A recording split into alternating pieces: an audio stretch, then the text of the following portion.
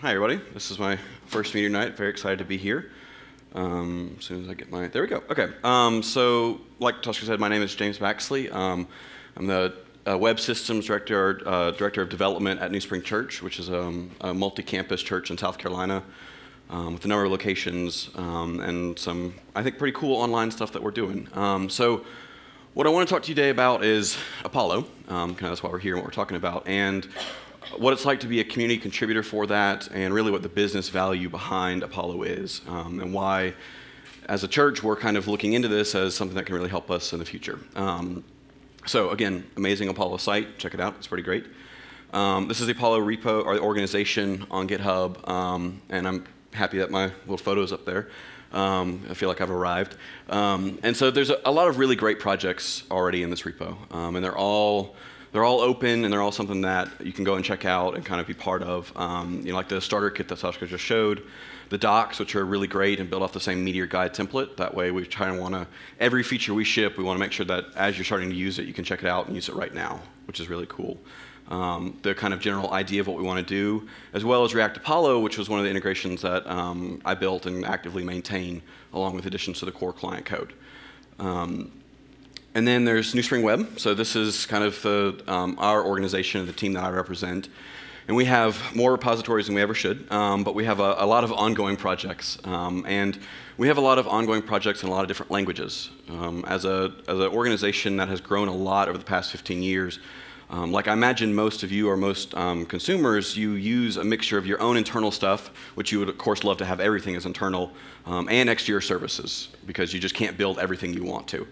Um, and so we, you know, just like most, we manage that tension as well as we can, but there's certainly times where um, we'd love to have something internal. One of the things that we just launched, um, along with this project that I'll be doing today, is an internal management system called Rock. Um, and it was a project with um, a group called the Spark Development Network, and it's an open source management system for people. Um, it's a way to kind of see what's going on and kind of take care of people as well as how to essentially run a church. Um, it has financial accounts, it has people data, check-in, kind of everything that you need to do to, to run a church. It's a ASP.NET .NET app. So it's, um, it's written in .NET. It's a SQL-backed, an MS SQL-backed database. Um, and so as, as we know, a traditional Meteor app, we can't really use any of this data. Um, and so without Apollo and GraphQL, we, choosing Meteor means that we immediately lock ourselves out of all of our people data, which doesn't really allow us to you know, make sense as a business. Um, we also have our existing site, like our front-end brochure site essentially, um, and this is a, a, private repo because it's the only reason it's private is because we use a program called Expression Engine, which is a PHP application that's a content management system that we use to power our sites. Um, and so there's licensing agreement. That's why we keep it private. But that's MySQL. So as I kind of demo this app today, um, whenever I say MySQL, that's our front end sites. And whenever I say SQL, that's our, our people data. Um, and then we have our Meteor app, which is Mongo. So I want to kind of talk about what it looks like to merge Microsoft SQL, MS SQL, MySQL, Mongo, and a few REST clients, um, like, for example, uh, the Google Site Search API. Um, so I'll start by first introducing to my boss, John Horton. Um, this is not his real photo. Um, and so this is inside Rock. So this is inside our, our church management system, and you can see on the le left side there we have our internal staff hub, our volunteer hub. So we have sort of a content management system inside of Rock. We also have um, our metrics, so attendance, so we have kind of raw data that we know if the church is being successful or not, or kind of where we need to focus.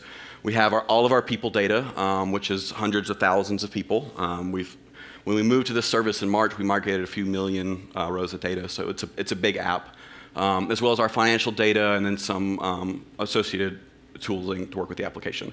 So again, this is, this is backed by SQL, by SQL Server. Um, and it's running on a, um, a VM, um, actually on a dedicated machine at our campus in Anderson, South Carolina right now. Um, we'd love to get to the cloud one day, but we'll get there.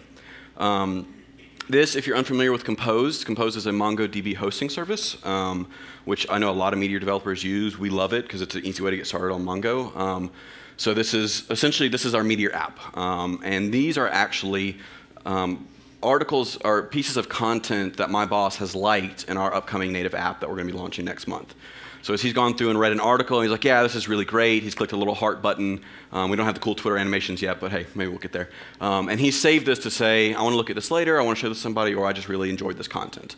Um, and so, you know, if you look into it, you're going to start to see, let me actually go back one. Um, for instance, see if I can find the right one here. Albums. Um, okay, so this is, you can see turn it up. Actually, probably it's too small. Is that better? Okay, so you can see the title here is turn it up. Um, so what this is, is essentially it's a, it's a link from our user, which is the Meteor account system in, or in uh, Meteor, um, both back to our SQL application, so our person data, um, as well as forward to our content management system, um, which is where we have lots of, of content, because um, we've been doing this for 15 years now, and we have a lot of content creation that's happened. Um, and so, although we're working to kind of migrate this eventually, right now we have just loads of data there. Um, so this is actually that Turn It Up album. So, so you can see Turn It Up, which is a music album for our kids ministry. Um, and so with this, you have stuff like album images, you have the actual content, you have the list of tracks. Um, and this is all MySQL backed. So we've seen SQL, MongoDB, and MySQL. Um, and so I kind of want to show you what it looks like to use GraphQL and use Apollo, which is built on GraphQL, to do stuff with this data um, and kind of how this is really what we think is going to change the way that we build applications. So I'm going to kind of try and live build out a query, but I've cheated a little bit and I've got mine kind of saved here, um, but I'll still kind of walk you through it. So if we look at John, um, you can see in the URL at the end here, um, that's his, his ID. Um, so we'll use that for lookups because it's easier. Um, in production, we use an authentication service that's actually backed through the Meteor account system. Um, that way, private data is private, um, and that's been a pretty cool integration to write. And actually, uh, Jonas, who's working on the Apollo client, shipped what will make it a lot easier, easier for us to take that client code and open source it as an easy way to use Meteor account system with Apollo. Um, so hopefully we'll have that out soon. So I've put in John's ID as a query variable down here. So you can imagine if this was in your app, you would pass this in as the logged in user's ID, and it's going to make the request. Um, so we'll, we'll build out this query here. I'm just going to kind of decompose these comments. We have the get person query, and you can see you, um, GraphQL is a statically typed system, which coming from the JavaScript world, in the beginning, I was kind of frustrated by because I like how easy JavaScript is to just say like, hey, it's a string, it's a number, it's all true, maybe it's all false, we don't really know, but it's kind of fun that way. Um, but one of the cool things about GraphQL being typed is you're able to get some of the great developer tooling, um, like Sashko talked about, um, and you'll be able to get some of the great analytics and really even eventually some really great UI tools as designers and developers um, to kind of just get access to all of your information. So we're going to get a person, which is um, a node defined on the schema. Um, so like we have a GraphQL backend that will migrate to Apollo server pretty soon. Um, and so we're just going to get John's first name and last name. So sure enough, Jonathan Horton. Um, so that's pulling live data um, right from here. You know, his full name is Jonathan, so that's what we're pulling. Um, and then like actually, if I were to add nickname, then this should be John.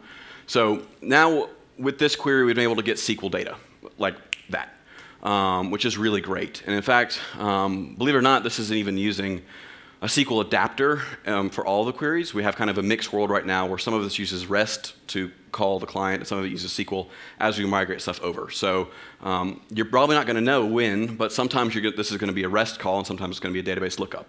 Um, and we actually built on top of this app, we have a Redis instance that caches all of this data as well. Um, so most of these requests actually go to Redis and they never make it to an application. So from a sense of scaling, GraphQL can let you and Apollo can let you granularly scale your application as needed. So let's say that like you, like us, have an internal machine. Um, you can set the TTLs and you can set your cache much more heavily on that because the availability may not be quite as high as you'd want it to, or it may be more expensive to scale out. Um, so that's really cool. Um, so let's say that we were making a UI component that was like a little profile card. Um, and so we want person's first name and last name, um, and of course, we've got to have Colonel Sanders. Um, so we need a photo. So now we have his URL of his photo. Um, and then, because we're multi-campus and we don't really know where John is, we want to be able to get his campus. Um, so campus is, a, is, another node, and it's another um, table in our SQL database. Um, and so you can kind of, kind of think of this as a pivot join. So we can take his idea, ID and we can grab what campus he has and then get some information about the campus. And one of the interesting interesting things is that in some instances, like you can kind of make circular dependencies where you can like traverse down the, your nodes and join almost to infinity. Um, I don't recommend it. But you know, location is another table in our system, and so um, this is it's not going to have any data here, but you can expand into a location object as well. So that's right now. This is all SQL, um, but it's really fast and it's, it's, being pulled in. So I'm going to take campus back off. Um, as I showed earlier, the likes um, is actually in Mongo. So I'm just going to pull the ID.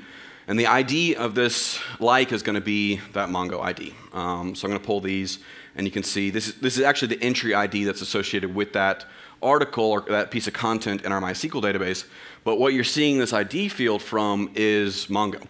Um, so this is now SQL and Mongo data joined together through the Meteor Account system, which is really awesome. Um, and it's, it's hooked into our like rock account system, um, and so we're kind of bridging that gap. But the ID doesn't really do me any good. I can't show a cool card of the most recent thing that John liked based off the ID. I can probably show counts, but that's not really all that helpful. Um, so let's say that I want to just show the title.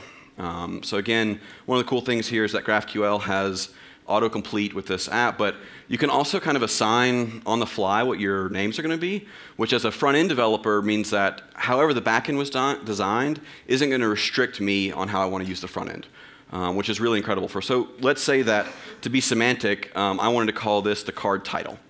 Um, and you can see the started to be the red underline because card title doesn't exist, but GraphQL will let you map an existing field to that name. So when I build my components as a UI designer, I need to know contextually what this data is for instead of like everything being this abstracted name. Um, so I'm going to remove, actually I'll keep both of them right there. So you can see it's going to pull both those fields. And one of the reasons why it can pull both those fields is because we don't have any arguments, but you can actually use different arguments on the same field. So say if you had a photo and you wanted a, a big image, like a um, 500 by 500, and a small image of 200 by 200, you could make those at the same time on the same request. Um, so there's no extra processing that goes on. You don't have to make subsequent requests. You can do it all at once. So I'm going to remove um, the card title up here. So cool, now I've got some car titles, and you notice one of the second likes that we saw in the database is, is turn it up. Um, but something like waiting is the hardest part is an article. Um, so we have different content types, but GraphQL will let you go through and kind of map all those together. Um, so I'm going to uncomment all this query together. And what we're looking at now, because you saw in our Compose database, we already had title and we had entry ID, which we are mapping to ID. So I could be lying to you, and this could all just be Mongo data right now. Um, but as you can see, none of this information is here. Um, so we're going to move beyond the Mongo world now. Um, so we've gone from SQL to Mongo, and now we're going to go to MySQL. So when I hit this query, hopefully, sure enough, I have data. Um, so if I looked at um, Turn It Up, which is this one right here, you can see down here the title, Turn It Up. Um, and this has all of the tracks here. So it has the file, so we can add them to an app and you can stream them. Um, we have description, we have images so we can show a nice UI, and that's all controlled in the MySQL database right now.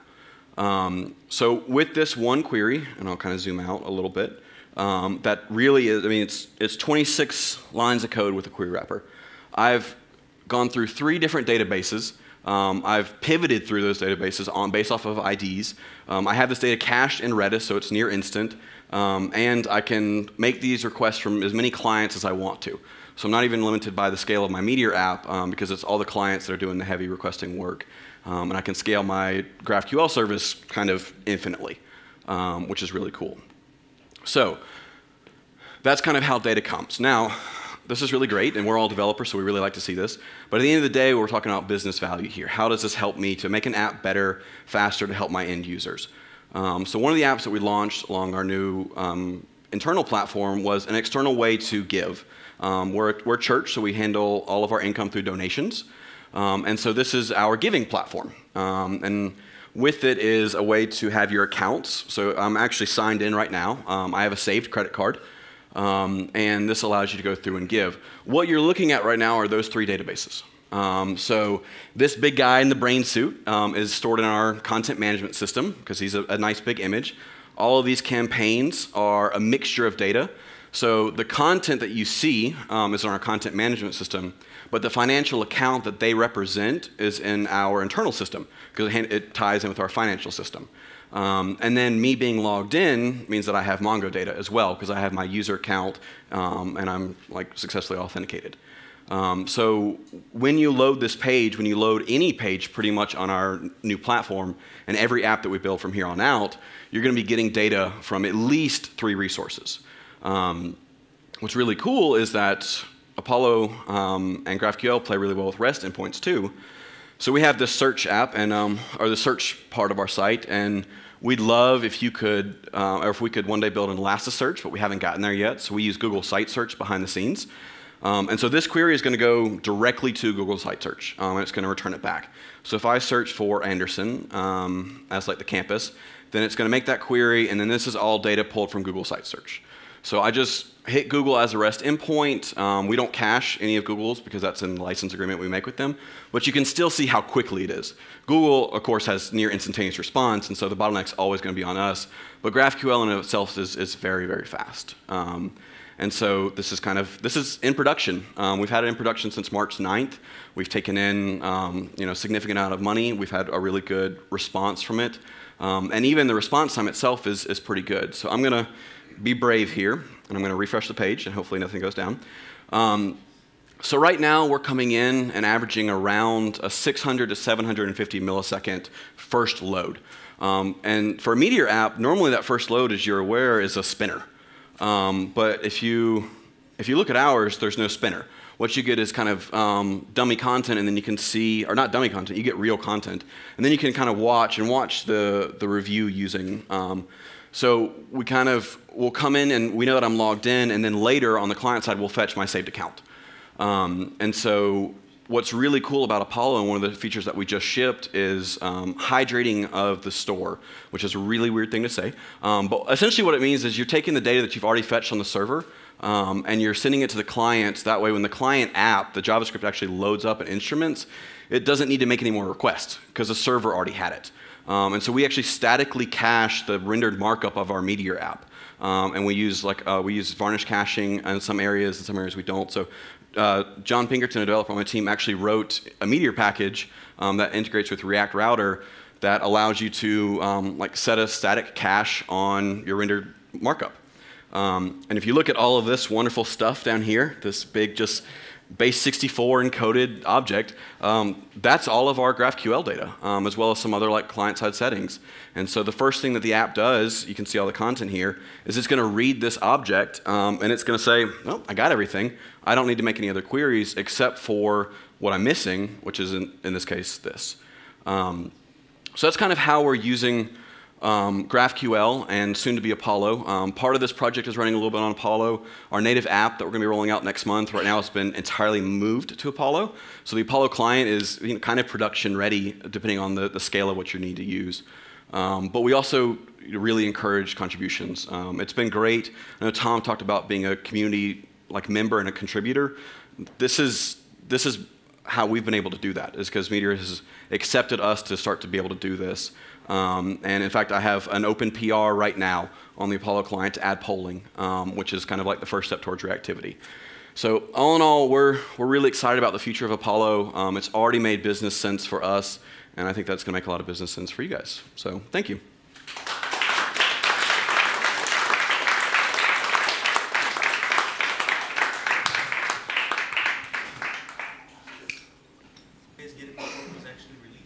No, so we, um, we kind of wrote a pre-Apollo um, before we kind of got connected with Meteor. So Facebook's open source GraphQL, and we use, we've already used Redux behind the scenes in our app. So we built was essentially a very bad version of Apollo um, that powers that site right now. And it, it's, you know, it's kind of glued together, um, but that's part of shipping. And so like what uh, what my team has been able to do is working with um, Sashko and the Meteor group as we've been adding to Apollo, is we've been migrating our stuff over to be using Apollo. Um, so it's all open source technology, and so we just kind of were a little bit early in the game. Yeah, and uh, one of the things we're doing is essentially intentionally shipping everything before it's ready, uh, so that we can give people a way to have an input super early in the development process, so we don't get to somewhere where we have something that's polished, but it's the wrong thing. Yeah, so um, the question was like looking at these three databases, what does it look like to write the resolvers for it? Um, so the question, I think the answer is yes and no. Um, once you write the initial bindings to like the database, um, a lot of times it's pretty easy because it's a single ID join. Um, and so writing the resolvers is taking one node or one field from like a parent node and getting um, the ID from that and using it to do a lookup on another one.